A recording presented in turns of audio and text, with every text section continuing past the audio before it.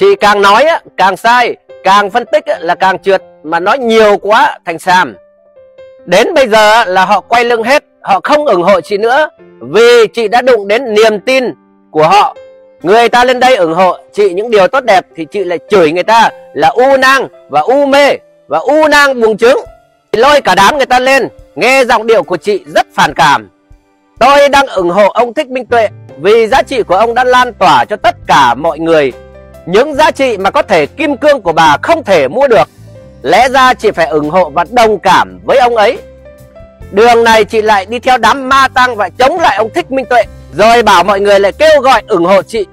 Người ta nhìn vào bà Họ không thể học được gì ở trong bà cả.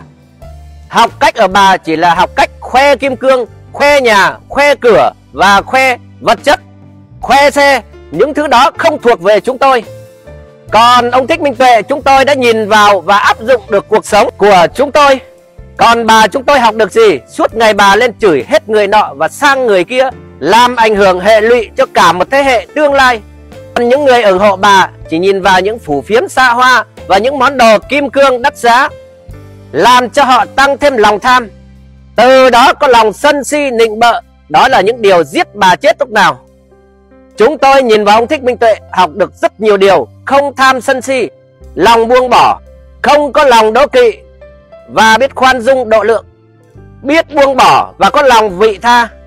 Đó là những điều chúng tôi đang trân trọng ông Thích Minh Tuệ. Bà hiểu không? Cái đám nào á mà ngu ngục á thì mới nghe bà, còn chúng tôi á sáng suốt và hiểu đạo lý thì không bao giờ, không bao giờ. Bà nói á, công giáo và Phật giáo không đội trời chung. Câu nói này có phải bà chia rẽ không mọi người? Tôn giáo là vấn đề rất nhạy cảm mà bà lên đây công kích, chia rẽ, trong khi đó người công giáo lấy người phật giáo. Đây gọi là bình đẳng về tôn giáo với nhau. Vậy đây có phải là đội trời chung không mọi người? Hãy comment xuống dưới. Cho tôi biết, bỏ cha, bỏ mẹ và cướp giật chồng vào tù ra tội, đây mới gọi là người vô nhân đạo.